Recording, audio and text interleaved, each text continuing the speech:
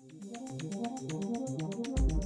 Kim Kardashian has undergone a game-changing stomach tightening procedure. The reality star showed off a photo of her abdomen which looked red in places as she was undergoing the Morpheus 8 treatment and though she admitted the procedure was painful, she insisted it was worth it. She wrote over her post on her Instagram story the procedure is a game changer and explained she had the Morpheus laser tighten her stomach. Kim even insisted she thinks it's her favourite laser and admitted it's painful but worth it. Kim recently reflected on how she no longer cares cares as much about looking glamorous. She said she loves to just be in no makeup, whereas before she would have been so insecure with no makeup on. However, now the mother of four loves feeling so comfortable to show up how she wants, adding some days she will be dressy and wear full glam, and some days she won't. The Skims founder admitted that her obsession with being dressed up would literally ruin her day until she came to the realization that it doesn't matter, and it's fine if she wants to wear something super chill and no makeup.